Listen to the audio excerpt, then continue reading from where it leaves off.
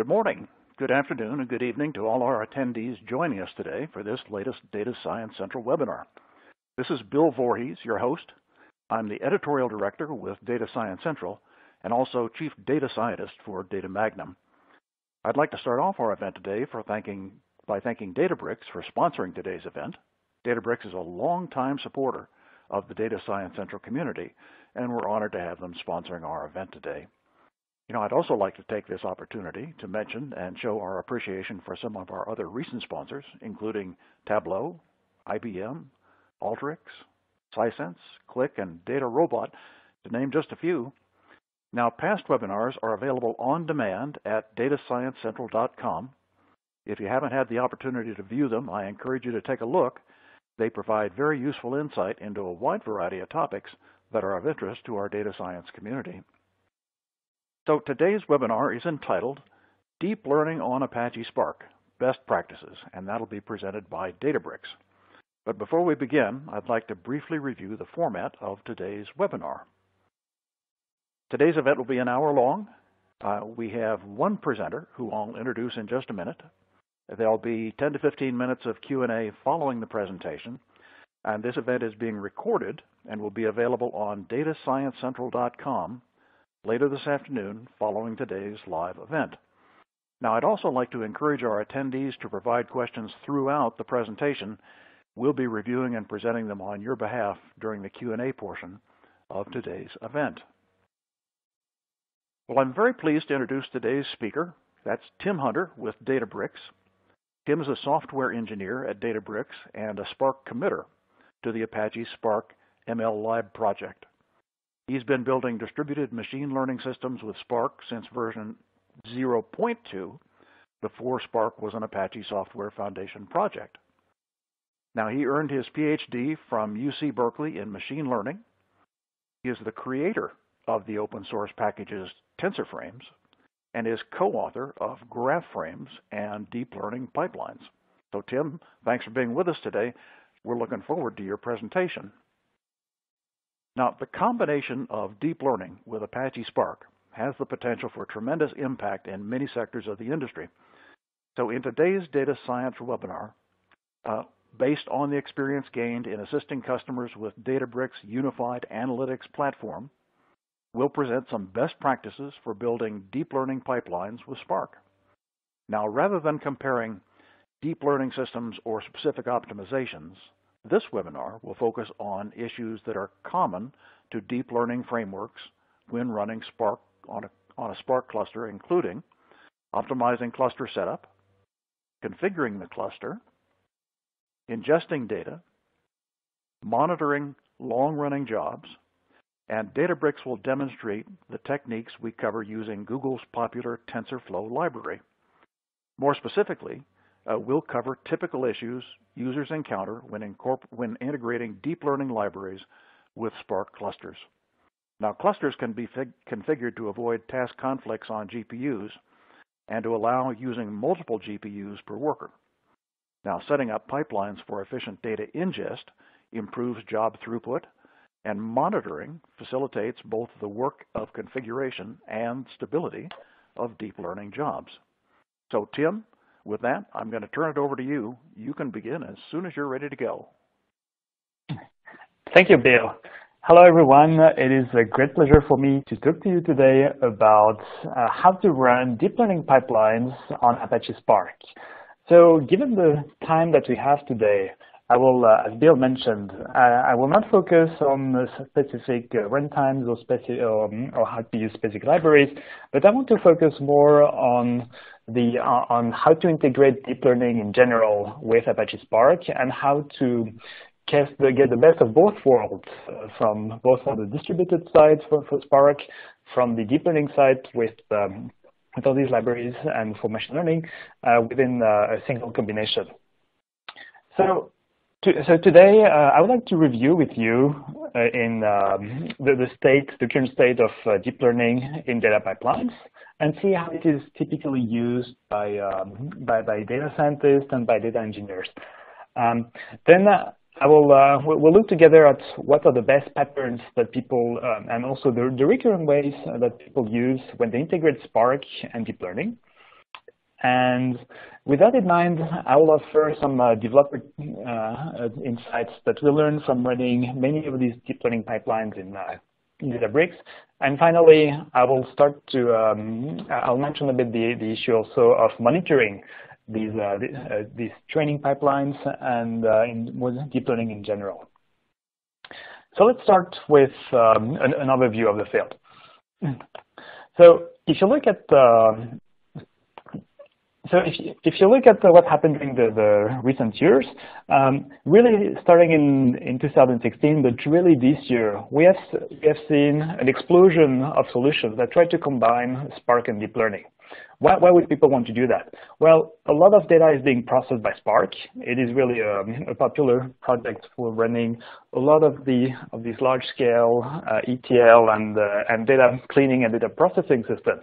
And deep learning now is one of the de facto standards for running the um, for running complex machine learning tasks, uh, especially in the domain of image processing or speech recognition or major translation and so on. And, and clearly, it is one, one of the um, one of the standard ways uh, for for tackling these issues. However, if you look at all the uh, if you look at what has been published or what has been presented so far, there is clearly no consensus on how to combine these different um, these, these two technologies together. And if you look around the, especially around the Spark ecosystem, there is a lot of approaches and a lot of libraries. So a lot of each of them try to combine, uh, each of them has different approach into trying to integrate with Spark. Some of them try to integrate existing deep learning library with Spark. Some other uh, some libraries are built from scratch on top of Spark. Some others try to modify directly Spark itself to run more efficiently. So there, there's no there, there's no clear consensus here. And furthermore, if you look at what is offered in MLlib, the uh, standard machine learning that is uh, offered with Spark. Um, the support for deep, for deep learning and, uh, and uh, neural networks in general is very limited. Uh, all, you, all you have right now is uh, perceptron-like networks and a few basic training techniques that really do not represent uh, the state of the art in deep learning. So uh, so here is actually a, a, brief overview of all the frameworks I am aware of uh, as of this moment. And actually, I learned about a, a, new one just a week ago. So this tells you how fast the field evolves. Uh, so let, us make a quick review of all of them so that we, we see a bit, uh, so that we, we see what is available uh, for us data scientists and data engineers.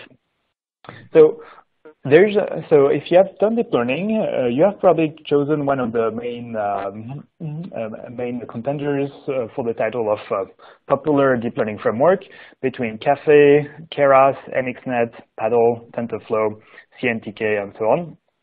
And for each of these libraries, you can see uh, a, number of uh, bindings that have been developed to incorporate these existing deep learning libraries on top of on top of Spark. So for example, in the case of Caffe, there is the Caffe on Spark project. In the case of Keras, which is a slightly higher level library written in Python, uh, the Elephas framework is designed specifically for this. MXNet also has its uh, incorporated on uh, bindings. Uh, Paddle from Baidu also also do that. And TensorFlow has not not one but two two different uh, ways of being integrated into Spark. One, uh, which is the TensorFlow on Spark project from Yahoo, and TensorFrames, uh, which was released by Databricks. So this is if you want, this is, so all these projects um, are useful if you have already written some um, some deep learning codes using one of these deep learning frameworks and you want to, to run, uh, you want to run them with Spark. There is also a, a, lo a lot of uh, different libraries that try more directly to incorporate inside Spark uh, by, by directly using, by directly taking advantage of the Spark primitive for running and distributing calculations. Um, so some of the more popular ones are probably BigDL, released by Intel, which focuses on um, on leveraging the, the latest capabilities of the Intel processors. Uh, there is also Deep, DeepDist, Deeplearning4j from uh, uh Deeplearning4j, which is uh, directly building its own uh, GPU processing platform on top of Spark and in cooperation with Spark. Uh, then, of course, there is MLlib, which has its own support. And and finally, a few other projects such as SparkCL, SparkNet, and deep learning pipelines. We try to abstract all these frameworks and provide the more um, a, a, more comprehensive interface and a simpler interface to um, to deep learning. And finally, for the people who really want to have um, who really want to access the the, the the, the, the, underlying uh, computing power directly, a number of projects have focused on using Spark for driving the computations, but then under the hoods, rewriting the, the calculations so they can directly take advantage of the hardware. Uh, so for example, there is the Blaze project from UCLA, and there is the IBM Conductor uh, project from uh, with Spark from um, from the IBM Corporation. So of course, uh, when you see this list, it might seem a bit depressing because you want, you clearly wonder which one should I use, which one should I, what should I do? And one of the questions uh, that we get asked a lot is whether we should wait for the one framework that is going to rule them all and that is going to bind everything and provide a single solution to all your deep learning problem in a distributed manner. So before this framework happens, um, I, would like today to offer the perspective of Databricks. So as you know, Databricks provides a hosted uh, platform with Spark on, that runs on the public cloud, Amazon. And it provides also GPUs, so specific hardware for, for compute-intensive workloads. And a number of our customers use uh, these deep learning frameworks, uh, specifically, more specifically TensorFlow, MXNet, BigDL, uh, Theano, also Caffe, and, and, a few others.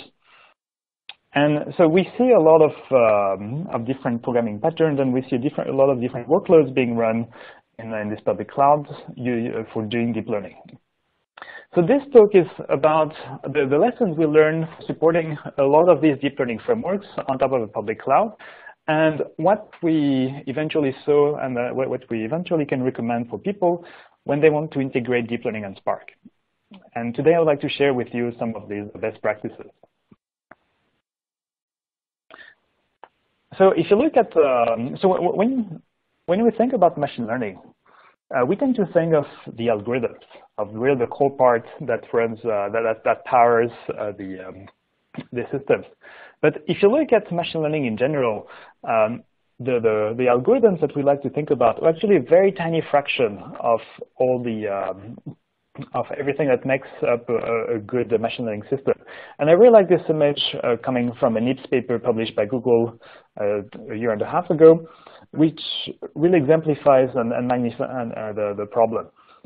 Because when we, when we want to focus on the algorithm, we need also to take into account a large number of other components seeming, which are seemingly unrelated, but are critically important uh, if you want to run uh, such a system in practice. And this is especially important if you want to run a deep learning pipeline because deep learning tries to leverage uh, uh, some more advanced uh, hardware capabilities. It also is very hard to uh, to train and to reason about. So in, the, so in this situation, figuring out the proper configuration, figuring out the proper way to ingest the data, figuring out how to serve the model after that is critically important for, uh, for good results. And um, and, and so we'll, we'll see how um, how, specific, how specifically the, the, these problems get magnified by deep learning. So there are really two two ways to um, to use uh, to to deploy um, machine learning and especially deep learning. Uh, one of them is is serving, and the other one is training. So let's start by um, and let's start, let's start by training and see what, uh, what what kind of problems people encounter in practice.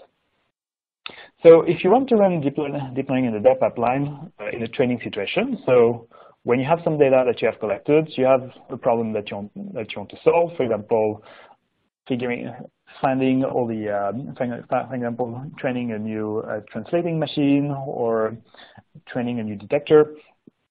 Then you first need to assemble your data, and then you need, and then you need to run a training algorithm on it. And, and these correspond to very different um, uh, problems from a technical perspective. Because when you do data collection, when you do uh, cleaning and, and, uh, and, processing at the beginning, then the, you, you tend to, uh, the problem tends to be mostly driven by moving data around the cluster. And the problem of, and, and, and the problem of collecting and aggregating this data. And when you do that, the um, it is usually run on a on a very large cluster where you want to optimize for the for the throughput and you want to optimize for the uh, for the bandwidth. And in that case, you tend to run on a cluster with a lot of memory, and that doesn't need to run that doesn't need to run a lot of computations. However, when times come to run deep learning, these algorithms and these frameworks tend to be extremely intensive in computations. Um, the, um, the term for that is the uh, is the operational intensity that is done on the, on the data. And this is usually done on a small cluster, even usually just one machine, one very powerful machine, in which you do not need so much memory as much as you need a lot of computing power. So either in terms of CPUs or in the or in the case of deep learning uh, GPUs, so a graphics uh, graphic accelerator on the computers. Um, and and and and uh, then so as you can clearly see here, there's a friction between between this data that is stored usually on a large distributed cluster, and then that needs to be moved into um, a, a, smaller um, a smaller cluster focused on uh, just on the on the computation part. So in general, people tend to have um, uh, two different. So because of these two steps, people tend to have two different clusters, and will, some, and, and also the, and then there is a, a, need to move the data back and forth between these uh, between these, these, two solutions. So using the cloud, thankfully here simplifies a lot of the um, a lot of the process because you can store all the data uh, in a distributed file system, in a distributed storage system, and then the output of the of the first phase of the featureization and ETL part phase is directly available through the distributed file system to a new cluster after that uh, that can run the deep learning the deep learning algorithms.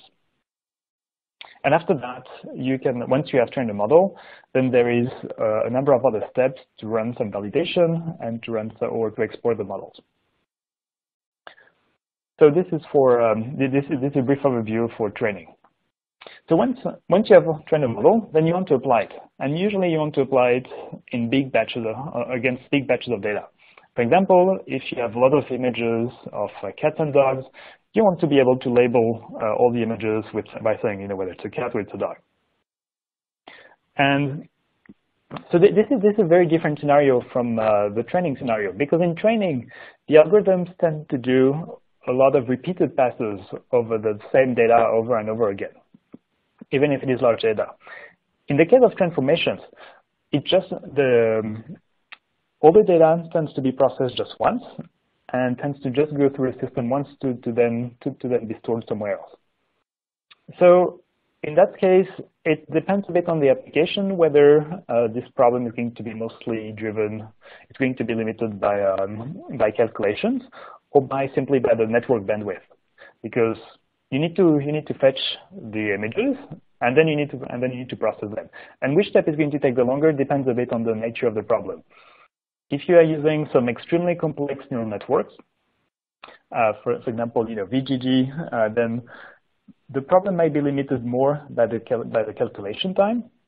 But if you use some more compact uh, neural network representations, such as ResNet, for example, then these, these networks actually may not benefit too much from extra hardware and can even be run very efficiently on uh, just on the regular CPUs and do not need to have dedicated hardware to run. So, he, so here, depending on the nature of the problem, then you may actually have much simpler solution in practice uh, compared to the compared to the training phase. So with, with these two, two big steps in mind, uh, let's look a bit at how people try to leverage Spark for, this, um, for the different steps. So there, there, are a number. So if you look at um, at, training and um, and transformation, there's a number of ways in which you can incorporate Spark and uh, to uh, to help you in your in your calculations. So the, the, the easiest way is probably to run Spark as a scheduler.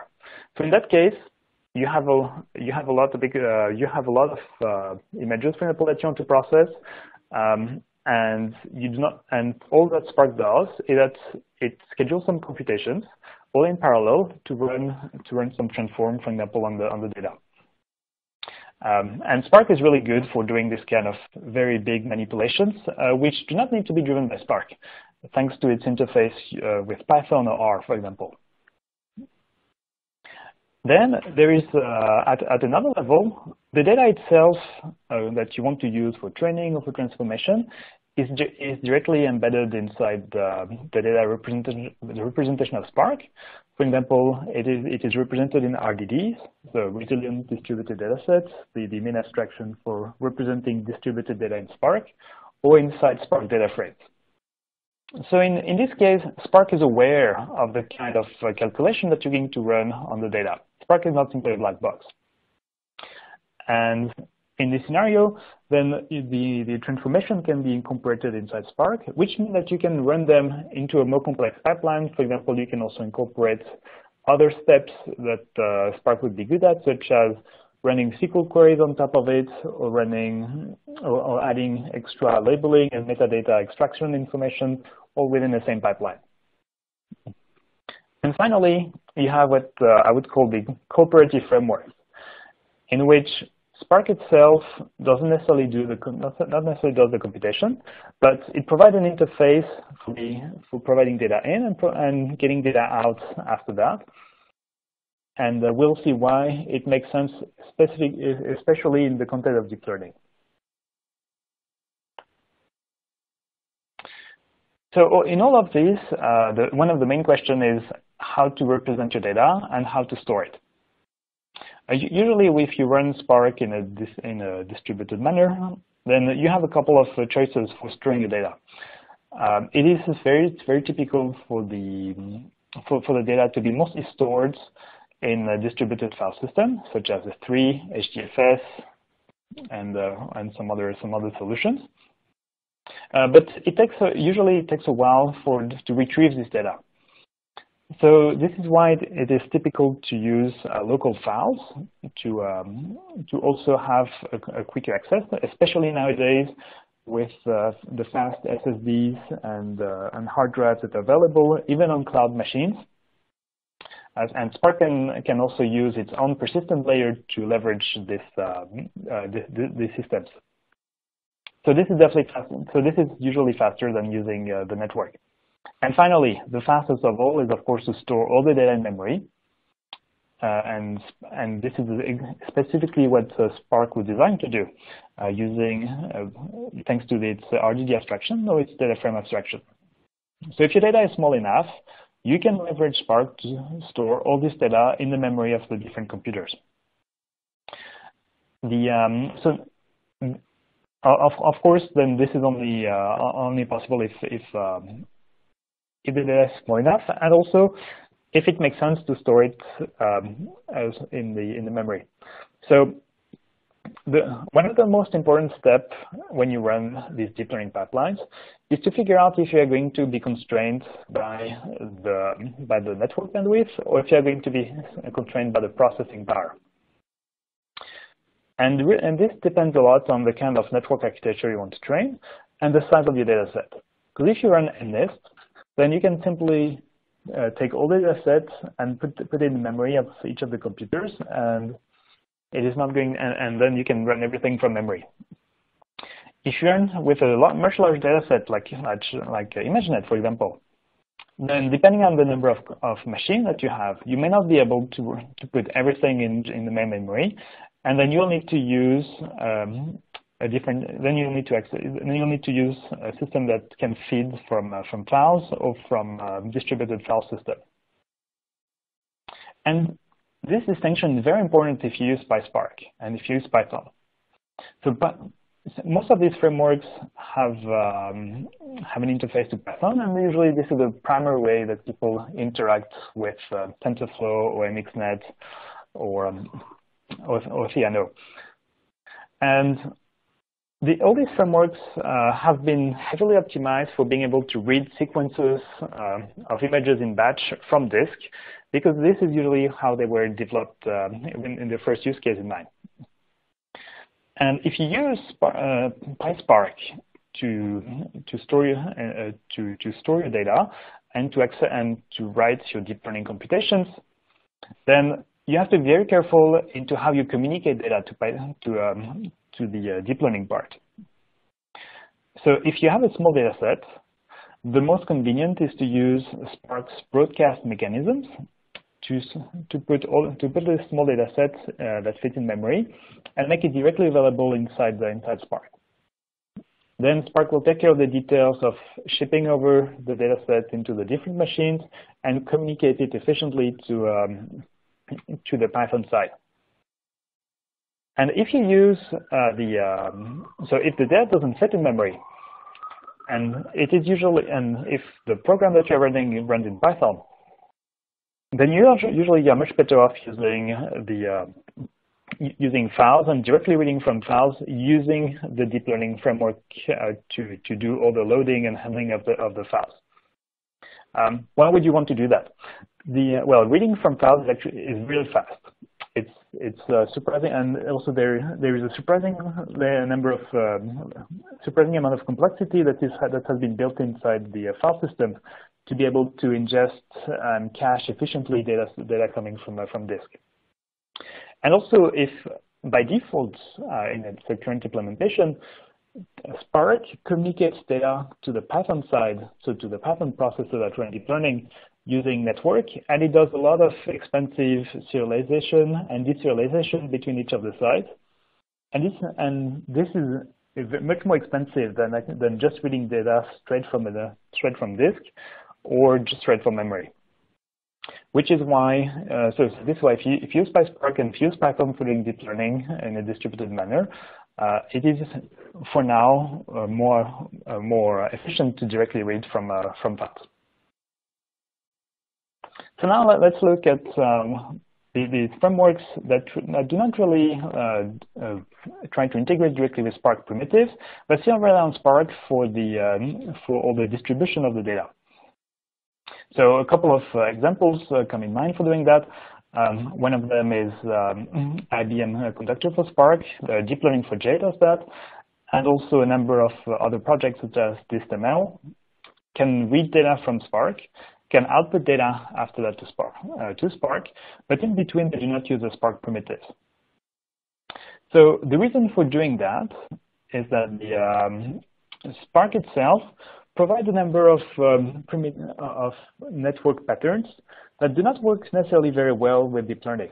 Uh, Spark is really focused on bulk synchronous operation, and deep learning can can you really take advantage of small small batches of computation being sent incrementally between the machines in an asynchronous manner. And um, this goes against the model, uh, the program model of Spark, in which all the computation can be repeated and are all, and are all synchronous. So this is why, from the perspective of Spark, uh, the, the deep learning frameworks really behave like a black box. They get some data at the, at the input in a local or distributed manner, and some computation will be run. They will not be repeated. They will not, they will not be able to be repeated. Uh, they will not, Spark will not be able to rerun some computation if something goes wrong, but it will run much, much more efficiently than uh, if Spark was taking care of uh, some of the communication for doing that. So yeah, these frameworks uh, so bypass Spark mostly for, for doing all their asynchronous or of specific communications.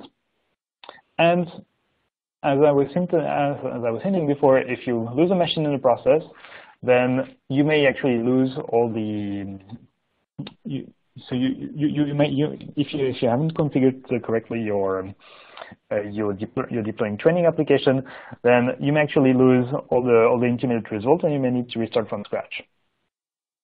So it has, so it has some cost for doing that. And also, uh, uh, which to me is uh, pretty important, you will not be able to, so if you run, if you re, if you reconfigure your, your cluster, for example, if you add an extra node to the machine, uh, an extra node to the cluster, you will probably get a different result at the end. So all these computations are not deterministic. If you if you don't if you don't use RDDs and if you use some, uh, these uh, black box frameworks. So is it really a big problem in practice? It depends a bit on uh, what you aim to achieve. In general, when you when you run deep learning uh, training sessions, uh, these, these sessions have a lot of inherent stochasticity, they have a lot of inherent randomness, and you will, even on a local machine, you would probably get different results because it's uh, because of its heavy use of uh, random numbers. So the, this is why in the context of deep learning, it is usually accepted that if you run things in a distributed manner, Spark is of little help to try to uh, handle the resilience of uh, and the reproducibility of the result at the end. So I really like this uh, this quote also from uh, attributed to Léon Bottou, one of the, the fathers of modern deep learning, and in which he states that if you want to have reproducibility, uh, you have to consider whether it is, um, if you want to trade reproducibility for, um, for speed, um, you have to see if, if the benefits outweigh the cost. And in this case, the cost is that you cannot un understand and reproduce the result that you got. So according to him, if you have machines which are twice as fast or processors twice as fast, then it may be worth losing the ability to reproduce and um, uh, your, your, your training procedure. Uh, personally, I put the threshold at, at a much higher level, probably at a factor of 10, because I like to understand what is happening in the process. But this is a bit depending on the on the taste here. So after this overview for um, on, on how to on, on how to how to run in general uh, deep learning and Spark, uh, let me offer you a couple of more pointed developer tips and, and some guidance uh, to help you develop some of these uh, some of these systems and how to use them in practice. So one of the most important aspects when you do training is uh, the, how to pick, how to choose, and how to configure hardware for maximum efficiency. So as I was mentioning before, deep learning is usually very expensive um, in its training phase and uh, from a computation perspective. So this, this is why it is common to use it with GPU machines, which provide some significant acceleration when you want to run some, some, uh, some, some uh, training procedures. And GPUs are hard to use uh, in in a single uh, single machine setup, and even harder to use in uh, in in a large cluster, which is something that, that becomes important when you want to run a lot of experiments in parallel. So if you look at um, if you if if you look at uh, at Spark, it given the project of its complexity, it has actually a few dependencies. And you can you can start from a machine. If you start to compile Spark from scratch on the machine, all you need really is Python, uh, the the Java development kit, and that's and that's uh, nearly that's about it. A lot of care has been has been spent on making sure that Spark works very well in a lot of uh, different environments. And GPUs are exactly the opposite in, in some sense, because they are really dedicated uh, platform that tries to optimize uh, the the the, uh, the, the computation, uh, the computation throughput, uh, at the expense of uh, just about anything else in terms of convenience or in terms of um, of a nice environment. Because if you want to use a GPU, you need to install CUDA. So typically, if it is for a GPU from the NVIDIA Corporation, they need to install the, the, the development kit, CUDA. You need to install a number of support libraries uh, specifically for doing deep learning, such as cuDNN, cuBLAS, and so on. You need to have some dedicated drivers uh, to access the hardware and so on. And this, is, this makes, all in all, a very deep software stack that requires some careful construction because there are only a certain config uh, configuration of hardware and drivers and CUDAs and then built-in library on top of that that, uh, that work together to deliver maximum efficiency. And if you don't have any, if you're missing one of these layers, you will not get the benefit of GPUs. So all of these must be uh, expected by the users. So now we start to see some turnkey stacks uh, that are available and that start to appear. Uh, mostly, if you're using the AWS environment from Amazon, then there's a couple of AMIs that are available containing all these uh, all this software. But sometimes they are missing some uh, some of the important some other aspects, such as either a deep learning library or an interactive environment for ease of use. So, and in the case of Databricks and of, of uh, providers and maintainers of, uh, of fleet of computers, it is it is important to be able to uh, to have seamless upgrades so that users do not notice when the hardware gets upgraded, when some of the software also gets upgraded. So this is why it is common to provide either um, an AMI or uh, Docker images that contain all the dependencies and that pre-install all the drivers uh, that are required.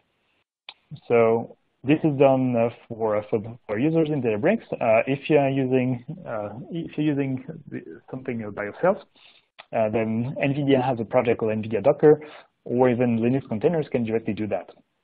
And this way you can abstract out the, the hardware in a way that uh, allows more seamless upgrades and uh, changes under the hood. So if you're using GPU through Python and PySpark, uh, there are a number of challenges, uh, like, like, I mentioned already before, for accessing the data. But there are also some other challenges which are specifically related to the uh, use of GPUs themselves. So as I was mentioning, most people use Python when they want to develop uh, some, some deep learning training algorithms, uh, simply because it's, um, it's a very popular language for data science, and it's a very popular interface language for these uh, deep learning framework. But it makes a number of assumptions. So if you, if you look at uh, all these uh, Python packages that provide deep learning facilities, their lifetime and their, their expect, the expectations are that they're going to live throughout the whole process. And this doesn't work in Spark because in the Spark model, the um, one, uh, each of the workers has one or multiple long-living uh, Python processes which get some task from the users, uh, deserialize the task, run the task, return some results, and then wait for the next time, wait for the next task to come. So in the in the Spark world, Python is not expected to be uh, coming up and down because it has some cost. It takes a few seconds to do that. And in the case of GPUs and in, in um, and deep learning, this causes some problems, mostly because when these tasks come in uh, and when they access the hardware, uh, they they open they use some resources on the hardware, and these resources do not get cleaned up usually after the um, after the um, uh, once once once the, the the process finishes. Or these uh, resources try to get used at the same time by multiple uh, Python workers. So there is uh, one change, one recommendation that you should use your Spark cluster, is probably to set this configuration flag. Uh, Spark the number of cores for each executor is set to one. So if you, when you do that, you will instruct Spark to run only one Python task at the um, on each of the workers, and you may think this is limiting. However, we, each of these deep learning frameworks tries usually to to I usually assume that they are the only one running the computations on the GPU, and they try to leverage as much as they can the resources on the GPU. Um, and if you do not set this, and if you have multiple uh, of these processors trying to use the same GPUs, uh, then they tend to try to oversubscribe to the resources, and you get to and and you end up with some fairly hard to debug and um, uh, errors about resources not available. And then usually you need to restart the cluster because uh, these, um, these, these resources these uh, resources are not being cleaned up properly on the GPUs. So this is uh, this is especially this is especially, uh, especially important for the, for the frameworks that try to optimize the resources they use inside the uh, inside their pipelines, such as TensorFlow. So now let, us look at one of the probably one of the most important aspects of, for um, for deep learning, which is understanding what is happening inside the computations and monitoring whether they, they do some good progress. So up to now, um, there is not really a good solution for that, because if you look at the if, if you look at the, what is happening inside the Spark computation, um, uh, I tend to have the comment that it, it tends to look like a big black hole in which you don't know really what is happening inside. So how, would you do monitoring for these, uh, for, for, these cases? Uh, it depends a bit on the, in, uh, it depends a bit on, on the framework that you use and on the granularity of the task that you run.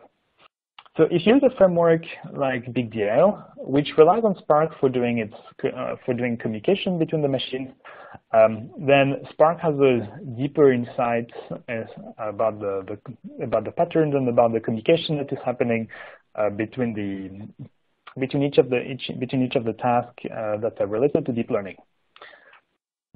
If you are using another framework, uh, which is more a black box, such as TensorFlowOnSpark, for which Spark has no knowledge and about what is happening inside, then you have to use some uh, some different uh, some different tasks.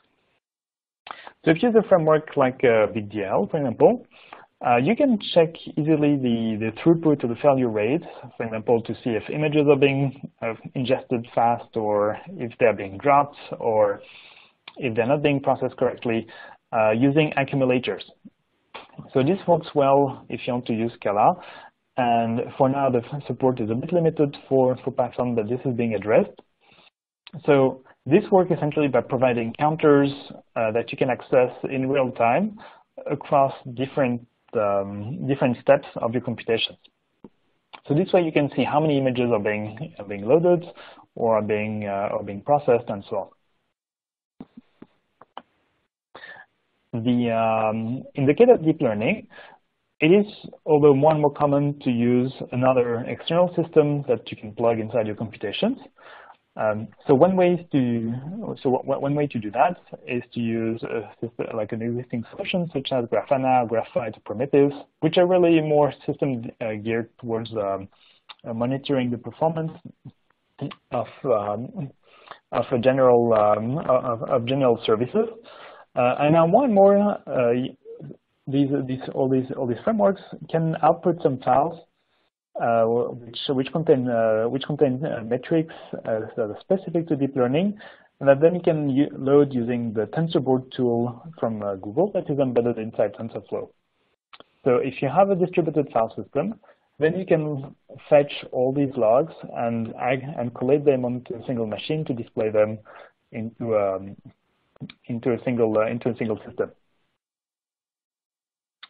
So as a conclusion, uh, definitely deep learning is uh, is, is a fast and, and very exciting very exciting space uh, nowadays, uh, especially if you want to use uh, deep learning in a distributed manner. Um, up to now, most of the insights that you will gain, especially in training, are very specific to the task, the data set, and the algorithm that you want to use. And for now, nothing replaced some experiments uh, against the specific um, uh, against, against a specific uh, configuration. So it is certainly easy. So if you want to start by combining Spark and uh, for doing deep learning, definitely the easiest is to start um, on this on data parallel job, and in, in which you try to run a lot of uh, single machine experiments. And this already can give you a lot of uh, insight about what works and what doesn't because a lot of time can be spent simply on trying out a number of hyperparameters to, to explore the configuration space of your training system. Once you want to move beyond that, then you can start to look at cooperative frameworks such as TensorFlowOnSpark, or uh, that, uh, that can help you when your data gets too large, and when you want to start to distribute the computation between multiple machines. So there are definitely some, some challenges that uh, the, the Spark developers can address. Some of them are how to monitor a long-running task.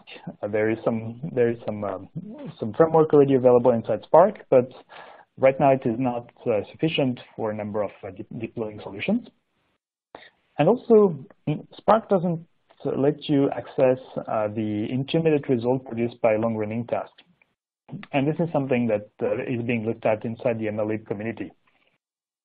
And also for if you're uh, developing your own framework uh, for doing deep learning, um, here is the, probably the, some of the, the most critical um, uh, design point that, that you need to make. One of them is what boundary you want to put between the algorithm and Spark. Do you want to leverage the distributed primitive uh, to um, from Spark so that you can you don't need to care about the communication between the machines, or do you want to go deeper in this sense and try to directly have your own uh, communication system between the machines? That, that's, that's one of the, the most uh, impactful design choices that you can do inside the, inside the library. So if you want to know more about that, um, Databricks has published a number of, um, of blog posts on the on the topic. Um, so especially we, we are we're explaining more in details how to do a GPU acceleration, uh, how to get started with deep learning and Spark. Um, also, if you want to use Intel's BigDL library, uh, we have uh, some uh, some, exp some explanation tutorial for doing that. And finally, if you want to run some uh, specific examples such as uh, deep learning pipeline with TensorFrames, then we provide um, deeper we provide longer explanations on how to on how to do that. And uh, finally, I encourage you to, uh, to check out the, um, the, the, documentation that we have on deep learning on Databricks, because a lot of it is also applicable to other um, open source systems as well. And also, um, we'll be talking a lot more about these topics at the Spark Summit in Europe, in Dublin, in, uh, which happens in a bit in a month now. And there's still some, it's still some time to register and if you want to go there. And there is a discount code here, Databricks, that you can use if you want to, uh, to go there. So thank you very much for your attention. And uh, without further ado, I'll let Bill now take over for the questions. Well, Tim, thanks for that excellent presentation. Uh, so we'll get started with today's Q&A session, and I want to thank the audience for their participation because we've had a lot of questions that have come in, and we'll do our best to get through all of them in the time remaining. So uh, during this Q&A session, I'll leave up this screen with contact information for Tim if you'd like to get a hold of him following today's webinar. So Tim, uh, let's get started. Tim, you are the, the uh, author of Tensor Frames.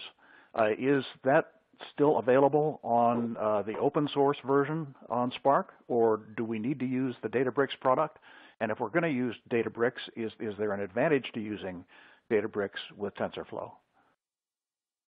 Yes, so that's um, so TensorFrames is a is a is a framework that lets you integrate the um, computations expressed using TensorFlow directly inside Spark. So uh, you have seen uh, all the points I've made about uh, about the, the communication problem between Python and uh, between PySpark and uh, and deep learning.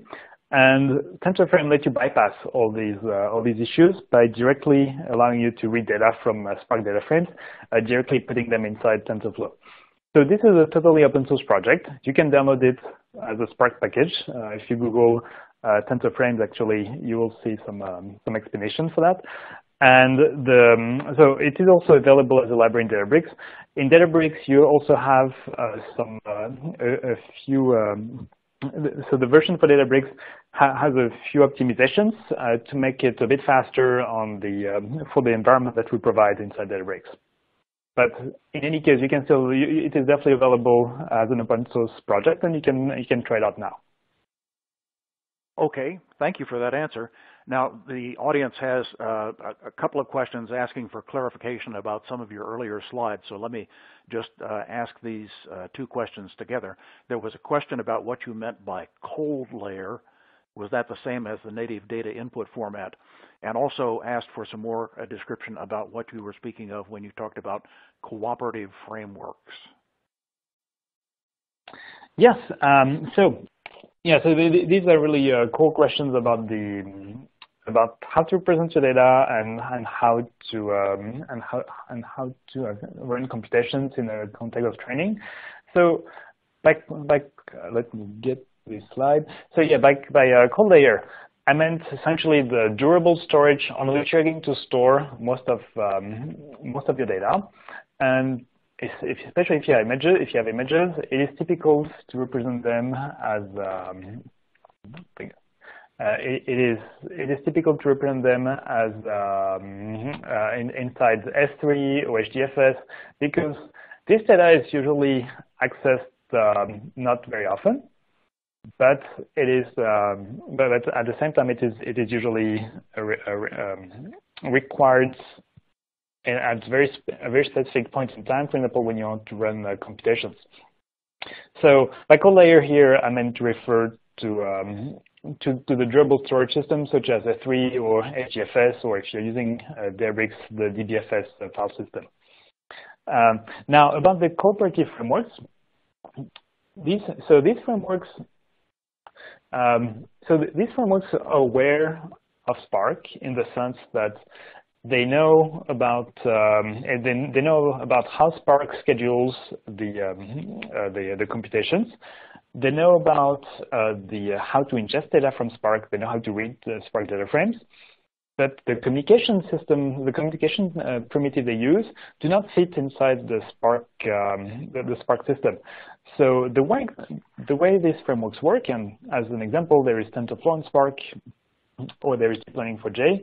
Um, so the way this, this framework uh, work is by scheduling some resources, or some long-running resources on the Spark cluster. For example, uh, they take over the um, a number of, of nodes on the Spark cluster, and then they will communicate with each other in a way that is independent of, uh, of Spark. So all the all the Spark sees when when it when you run some of these frameworks is that you have a lot of, uh, you have a number of very long running tasks on, the, on, on the, these nodes that eventually uh, relinquish, uh, that eventually produce some data. But for example, he, uh, here, when I, what I mean by very long, that might be you know, a day or two days even of, uh, of running computation on a single node that Spark then cannot use. So in that sense, Spark is being used to ingest some data, and it is being used to, um, to schedule resources on the cluster. But usually this is uh, completely transparent from, uh, from the perspective of the user. Well, Tim, thanks for that clarification. Um, now, you know, something very fundamental about Spark. Uh, is, is Spark automatically managing the GPU and CPU resources um, and, and, deciding what the uh, workload should be for optimal usage, or are those hyperparameters that I have to adjust myself? Yeah, so, so here there are two aspects to, um, to this question. The first one is how, how much is Spark aware of the kind of computation it runs? And also, if you're using GPU and, and, um, and CPUs, um, you have usually a lot of parameters that you need to tweak, and how much can Spark help you in, in that respect? So Spark itself has no concept of, uh, of GPUs. And uh, there are a couple of, if you look at the at the mailing list on uh, for Spark, and if you look at, uh, at the issues report on Spark, uh, there there is a number of ongoing discussion about uh, such a support. Usually, this is um, so th this is handled directly by the the manager by, by the underlying manager of the cluster. So if you use a YARN in a in a large distributed system, uh, then YARN, uh, YARN as a resource manager has is aware of these resources. Um, it is for, for most users though it is usually and because the the needs between between um, the pre-transformation and then the and then the computation for doing training are so different. It is usually easier to to have a dedicated cluster or to launch a dedicated cluster uh, that has um, that has GPUs and that is aware and um, so that Spark doesn't need to be aware that it needs to run uh, some operation on GPUs. If you launch a separate cluster on on a cluster on the, on the number of machines that contain GPUs, then you do not need to to add specific information into Spark for um, for running on GPU machines. So also, so that, that brings the question of um, how to how to efficiently leverage these these machines, and also how how Spark can help uh, in this context.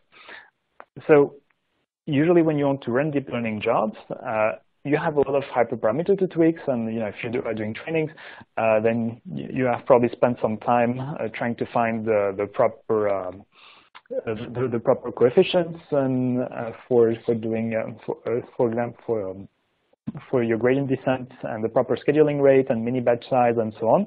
And there's no clear answer uh, that uh, there, there, there, there's no clear rule of thumb that works in all the, all the cases. And usually it is best to simply try out a number of these parameters and see which one works, uh, give you the best result. And in that, and in that case, Spark can help you by launching a lot, by, by letting you launch a lot of computation in parallel each of them with a with a different set of uh, hyperparameters, and then you can see which one is going to, um, to give you the best result in the end. Oh, Tim, yeah, thank you for that uh, clarification. Um, so I think we all understand that uh, in in Spark, our, our primary language choices are Python and Scala, but there's always going to be uh, some folks that, that want to run R.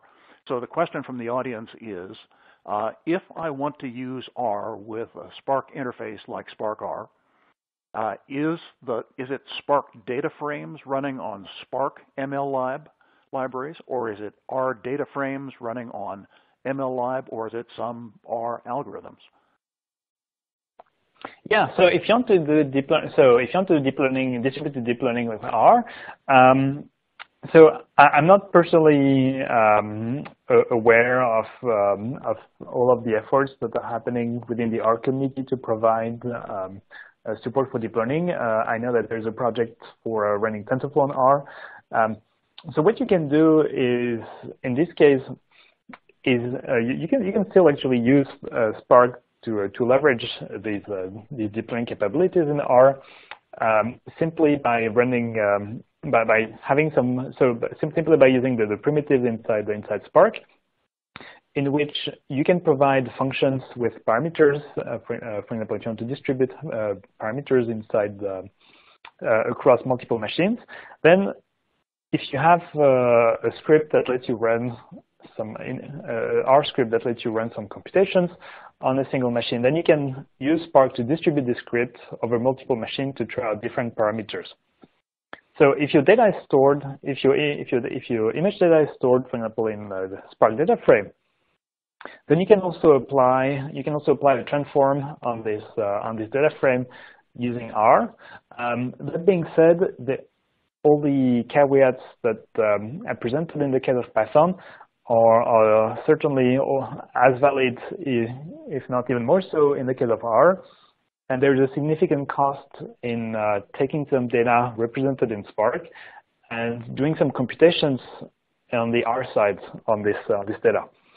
So in that case, you you are usually better off uh, trying to directly schedule these, uh, these computations in, um, in a distributed manner, but have each of these um, each of these computations directly fetch data from either from disk or from um, or from a distributed file system to run uh, some, the, the, to run some processing on them. Well, Tim, thank you. Uh, and uh, just for a final question uh, in our time remaining, a number of audience uh, members have asked about uh, distributed TensorFlow with Spark. What, what's your experience with that? Any drawback? Uh, yeah, so distributed TensorFlow, so there is um, so TensorFlow itself has a has a number of primitives and a number of ways to run a distributed TensorFlow. Um, at a high level comment, uh, I'd like to to reemphasize the fact that distributing, so using distributing, so doing TensorFlow, writing it um, TensorFlow code is not easy. Um, writing distributed TensorFlow code and understanding why it doesn't work uh, is even more challenging. So you, people should definitely consider, so people, uh, as a first step, people should definitely consider using distributed TensorFlow if they really feel that they will, if they really have a compelling need uh, to, uh, to do that. The, uh, so that being said, uh, there, Spark offers a number of solutions to um, to help you distribute uh, your computations uh, within TensorFlow on um, on a cluster. Um, some of the most prominent projects for doing that uh, is probably um, one of the one of the most prominent projects probably TensorFlow Spark, uh, released by Yahoo. Um, and this is in this case, you Spark is, is, so it is one of these cases of um, of cooperative frameworks in which uh, TensorFlow Spark takes care of a number of common problems such as ingesting data from Spark or, or scheduling the resources and setting up the communication between the machines in, uh, using Spark. And then you can run your distributed TensorFlow uh, code between these machines. And uh, TensorFlowOnSpark will take care of uh, releasing the resources that you are, that you are using when your computation eventually completes. So it is, it is definitely one of the, um, yep. Hey, uh, thank you. Uh, great answers to some very good and deeply detailed questions. And for those of you that asked questions today that weren't answered, uh, we'll be sending all the unanswered questions to Tim and the Databricks team. so that they can follow up with you after today's webinar. Now, I have just a few quick announcements. Uh, if you would please mark your calendar for September 28th, that's tomorrow, uh, and our next DSC webinar, which is going to be Human in the Loop Deep Learning, and that'll be sponsored by Crowdflower. Also remember that today's taping will be available for on-demand viewing, and if you're like me, you probably want to review today's tape. Uh, so that'll be available later today, and you can find that on the home page of Data Science Central in the Webinar tab located at the top of the page. Well, this brings today's webinar to a close. Uh, I'd like to thank our audience for their attendance and thoughtful questions. A special thanks again to Databricks for their sponsorship, and particularly to our speaker today, Tim Hunter, for his deep insight into today's topic. Uh, this is Bill Vorhies, and I'm very pleased to have been your host for today's event. I look forward to seeing you all again on September 28th, tomorrow. Have a great day. Thank you, Bill.